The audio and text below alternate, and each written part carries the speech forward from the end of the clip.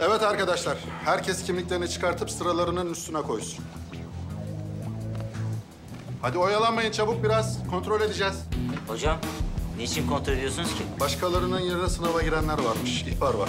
Beyefendi bakanlıktan.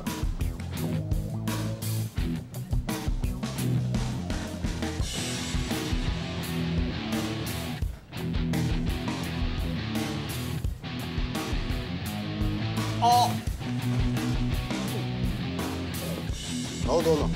Hocam. Midem çok var. Torpil yiyeyim. Otur yerine. İyi hadi çabuk git gel çabuk.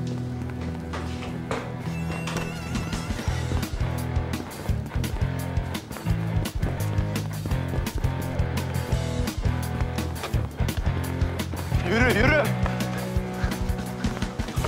Ne oldu ya? Ha, anlatırım, koş.